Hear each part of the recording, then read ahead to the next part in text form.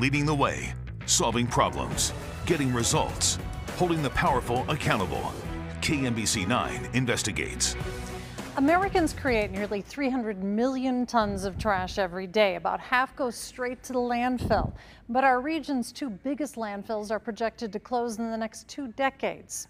When that happens, where will our trash go? That is part of our newest KMBC 9 Chronicle, Dirty Kansas City.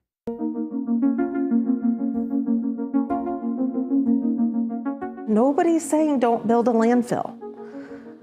But what we're saying is not right here. Thompson has led the fight against the South Kansas City landfill. I built this home in 1994. Rick Myers has too, saying the proposed site is too close. Why here is my question. It's just a shame that uh, their uh, livelihoods are being threatened. Raymore Mayor Chris Turnbow is also fighting against building a landfill close to his city.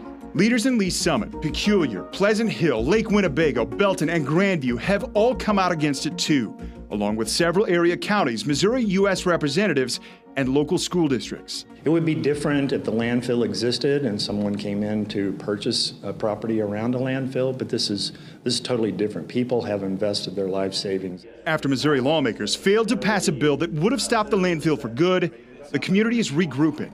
We can't be putting a landfill across the street from an elementary school. Sarah Thompson and her neighbors are now pitching in any extra savings to fund a political action committee. They're planning a stronger fight in Jefferson City. Is this site a better solution than the South Kansas City landfill site? Well, we feel like it is. But enter another developer who wants his landfill to serve as a potential solution for Kansas City an hour and a half away.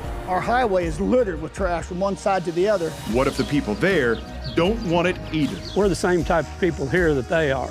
This isn't our backyard.